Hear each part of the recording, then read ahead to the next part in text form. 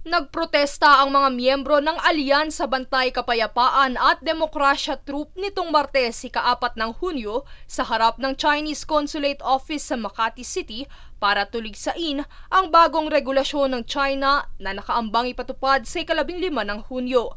Ito ay ang 60 days detention na walang paglilitis para sa sinumang dayuhan o mga pinaghihinala ang individual na magtatangkang manghimasok sa West Philippine Sea o kilala rin bilang South China Sea. Ang regulasyong ito ay layong magbigay ng kapangyarihan sa China Coast Guard na pigilan ang mga dayuhang lumalabag sa pinag-aagawang teritoryo.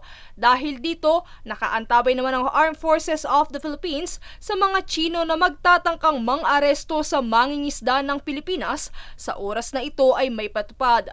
Sa naganap na pagkilos protesta, panawagan ng mga aktivista na ibasura ang naturang regulasyon sapagkat anila ang West Philippine Sea ay para sa mga Pilipino.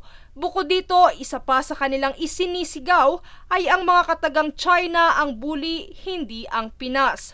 Kaugnay ng usaping ito ay nagbigay naman ng pahayag si Chinese Foreign Ministry spokesperson Mao Ning kung saan hindi naman daw umano kailangang mag-alala ang sinumang individual liban na lamang kung gagawa ito ng illegal na pagkilos.